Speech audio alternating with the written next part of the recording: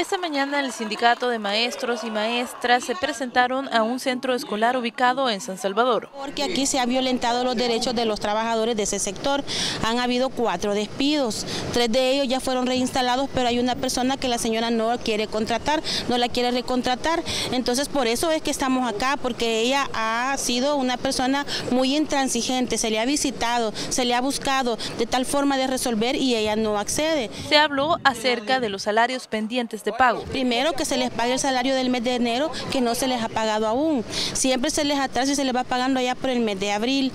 También estamos exigiendo que se respete el, salario mínimo, porque si así como se le exige a la empresa privada, hay que también el gobierno tiene que cumplir. A nivel nacional hay maestros que no han recibido sus salarios. ¿Se imagina cómo han de hacer estas personas? Eh, hay bastantes casos de despido, argumentando falta de dinero, argumentando falta de recursos.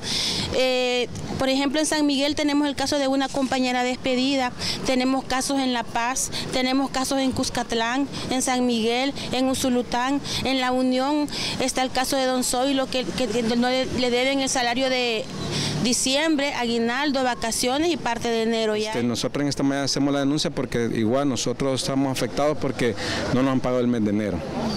Esa es una práctica recurrente que ha, sucedido durante años anteriores. El año pasado, hasta en marzo, nos pagaron lo que es enero, febrero y marzo.